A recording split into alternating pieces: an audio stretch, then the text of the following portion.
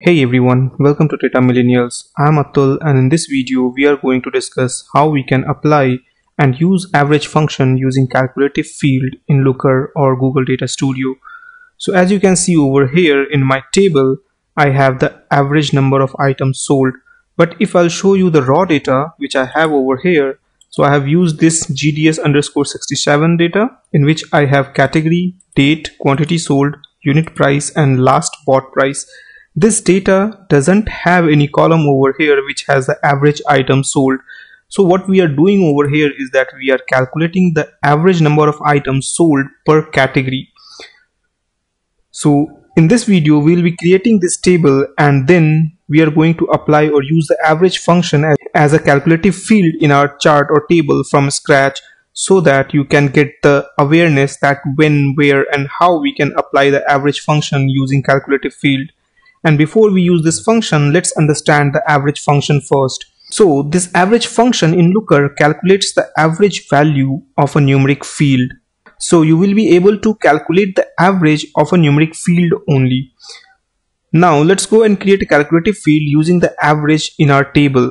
So the process is something like this. What I'm going to do is that I'm going to click on edit over here so that I can go and edit this table which I have created and I'm going to remove this calculative field which I have created first. Now what I need to do over here for creating a calculative field with average function is that I need to come into the setup section. Within this setup section we have this metric section. Within this metric what I need to do is that I need to click over here which says add metric. If I click on it then you will have chart fields and default group. But instead of choosing anything from here what I'm going to do is that I'm going to click on create a field once you click on create a field, then Looker will allow you to add a calculative field for your visualization widgets such as charts or tables. So I'm going to put a name over here which says that average number of an item or average number of items sold and then over here I have formula now in this white space, I need to input the formula. So the syntax of average function is like this that you have to put this acronym which is AVG and then within brackets you have to give the numeric field for which you want to create or calculate average. So I'll put AVG and as you are putting this value you will see that the IntelliSense of Looker will allow you to select this average function. Once you click on it then you can see the example summary as well as a help. If you want to learn more about it, you can click over here, learn more, and you will be able to learn more that how you can use this average function in your visualization widgets. Now within this bracket, what I'm going to do is that I'm going to put my numeric field and my numeric field is quantity sold. So I'll give quantity sold. Once I select it, then you will see that over here Looker is showing you that formula syntax is valid. Now you can select the type over here as numbers or the comparison calculation as well as the running calculations based on your requirement you can select it. So for me in this video I just need the average of this quantity sold as per each and every category. Now whenever I'm putting this formula you have to understand this that this average is getting calculated based on grouping of this category okay so now if I click apply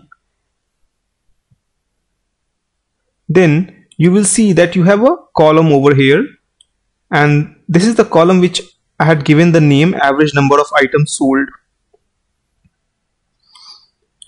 Now for your reference what I have done over here is that I have given the count of category. So this is count of category.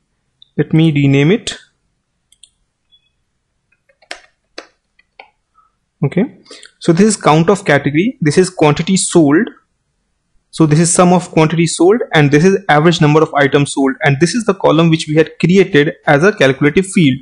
Now if you want to cross validate your result that whether this calculative field is giving you the correct output or not then over here what you can do is that you can take this quantity sold and divide it by this 158 so this will give you the average number now as we have successfully applied and used the average function using calculative field, you might have a question in your mind that how does this average function works.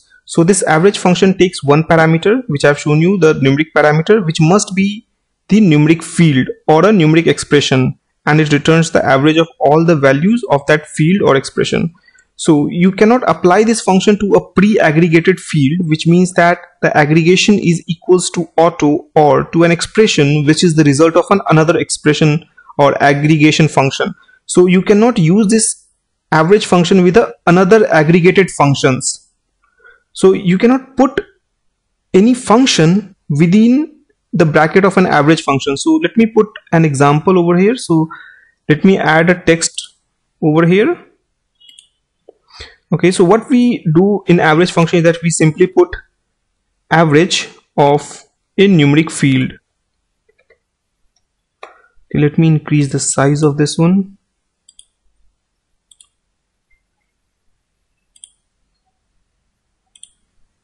okay so generally when we are using average function we use the average keyword which is the function keyword and then we give the numeric field now what you can't do over here is that within this bracket you cannot use any other aggregation function such as you cannot use sum function of numeric field and then you try to get the average of that result which you get from this sum function so you cannot do that so this is how basically you can apply and use average function using calculative field in Looker or Google Data Studio. Happy learning and see you in the next video.